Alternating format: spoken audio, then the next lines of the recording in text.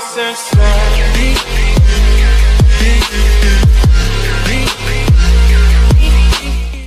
A 45 días de que inició el Plan Conjunto de Atención a las Instalaciones Estratégicas de Pemex y con ello la lucha contra el huachicoleo por parte del Gobierno de la República, el cual generó una crisis de desabasto de combustible en varios estados del país, la situación está lejos de normalizarse, ya que aún hay estados que tienen dificultades para surratirse de Gasolinas, Guanajuato, Michoacán, Jalisco, Estado de México, Querétaro y partes de Aguascalientes, Ciudad de México, Hidalgo, Nuevo León, Morelos y Puebla resintieron los efectos de la falta de gasolina, situación que derivó en reclamos de los gobernadores principalmente de Diego Singüe Rodríguez Vallejo, Silvano Aureoles Conejo Enrique Alfaro Ramírez, este último el más enérgico en sus exigencias de restablecer el abasto. El Triángulo Dorado descubre en toma clandestina en la GAM, hay cuatro detenidos pese a que en el estado bajo la detección de tomas clandestinas, aumentaron los homicidios dolosos ligados a los grupos guachicoleros. De acuerdo con Bernardo Ramírez García, comandante de la 16A,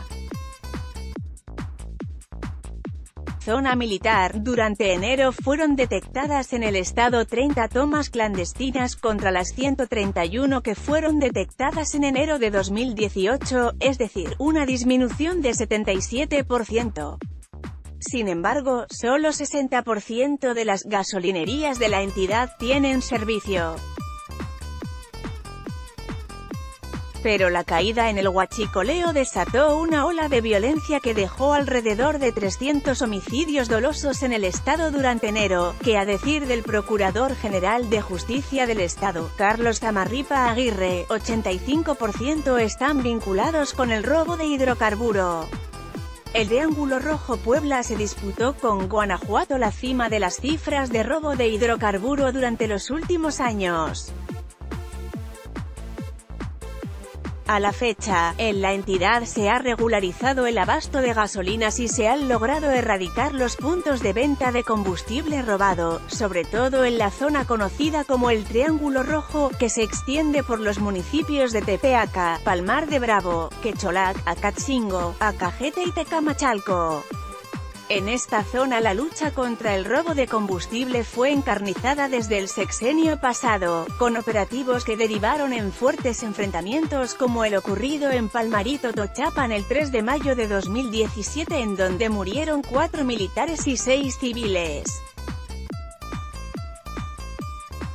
Ya como resultado de la estrategia de AMLO contra el huachicoleo, 11 gasolinerías se encuentran cerradas y en proceso de investigación por operaciones ligadas al robo y venta ilegal de hidrocarburos, reveló el presidente de la Organización Nacional de Expendedores de Petróleo, ONEXPO, Rafael Zorrilla Alanís.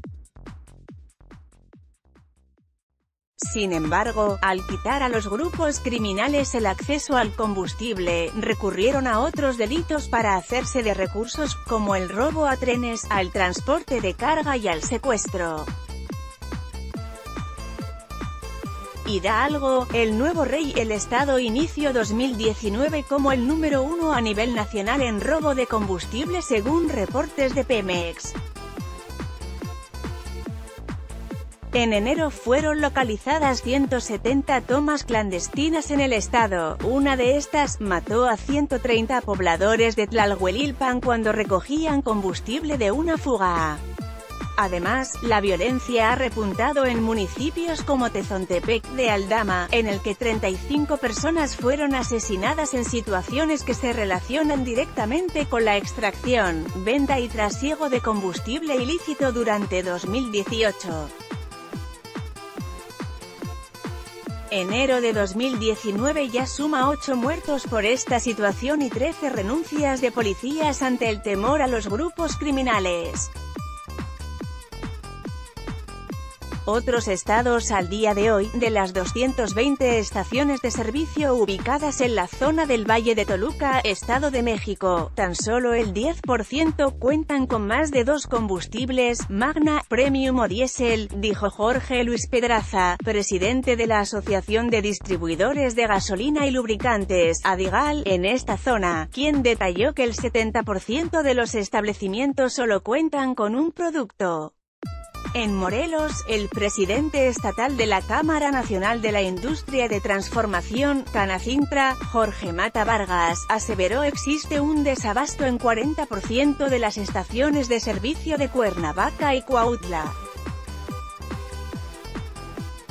En las 180 gasolineras del estado tienen servicio de manera intermitente. Jalisco, uno de los estados en donde la crisis fue más grave, ya NPR malizó el suministro de combustible, sin embargo, mensajes en redes sociales han movilizado a los ciudadanos a realizar compras de pánico que son atendidas por el gobierno del estado que pide mesura y asegura que hay un abasto de casi 15 millones de litros de gasolina diarios con una reserva para 1,5 días sin que se resurta al estado. Pese a ello, durante enero el estado sufrió una caída de 80% en la llegada de turistas y una pérdida total del 8% de su Producto Interno Bruto solo por el desabasto. Querétaro la fecha cuenta con 90% de abasto de gasolina, mientras que Michoacán enfrenta todavía problemas en 70% de sus gasolinerías.